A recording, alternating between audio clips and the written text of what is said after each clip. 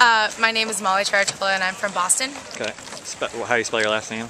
T R E R O T O L A. Okay. Are you a complete novice or are you someone that's coming here with some experience? I was recruited.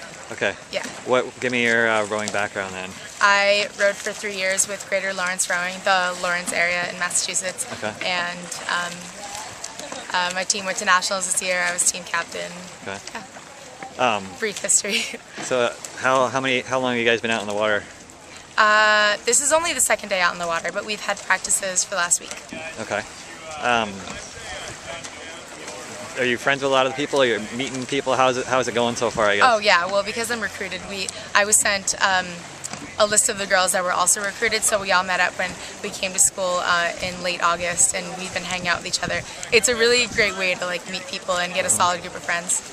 Um, how familiar are with uh, how much you dealt with the coaches so far? Obviously you were recruited, so you probably know them a little bit, but Yeah, well I met um, my coach right now when I came for my official visit, but um, Uh-huh.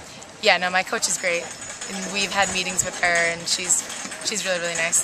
talking about Heidi, I assume. Yeah, Heidi. Just making sure. Yeah, and it's good because she's young, so like we can relate to her, and yeah, she's a great coach.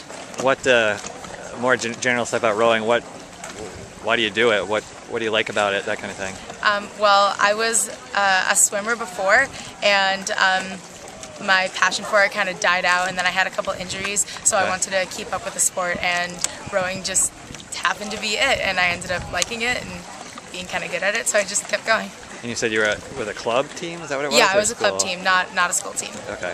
What was your like? How much did you practice in the past? What was kind of your Um, specific background?